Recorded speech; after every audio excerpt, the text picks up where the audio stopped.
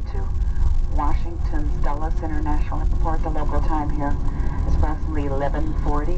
We will be taxiing for just a couple minutes. Please do remain seated until the captain has safely parked the aircraft at the gate, turned off the fasten seatbelt sign. Before you leave us this morning, please do check around your seating area, especially in the seat pocket in front of you, to ensure that you do have all of your personal belongings. And please do use care when opening those overhead bins. If you're making a connection here in Washington, please check the departure monitors that are located throughout the concourse and just follow the signs to your next uh, gate departure. Washington is your final destination. Ground transportation, baggage claim can be found in the main terminal. Follow the signs to a people mover. Take a people mover over to the main terminal.